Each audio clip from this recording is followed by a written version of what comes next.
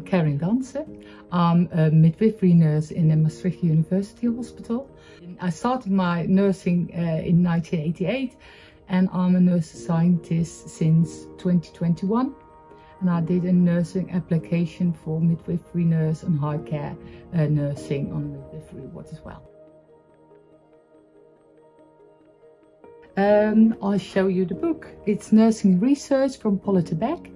I choose this one because I needed it for my master thesis in the uh, nursing science course. It explains nursing science. It explains how to start nursing, uh, to um, collect data and conducting the research in total. I'll show you the cover. Uh, it, it shows you on, uh, show you a side in the book as well. So it explains a bit better.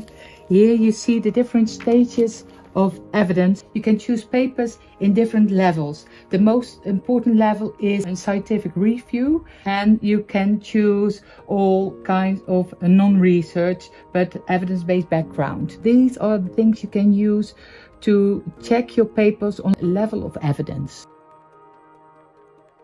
In, in my job here as midwifery nurse, you prepare people to have the best stay here and prepare them uh, in, in, the best available options you have to prepare them at their time at home. Mm -hmm. So I think with evidence-based medicine and evidence-based practice, you get better results. Our job is here to empower uh, parents to get the job done with the, the, the care for their baby.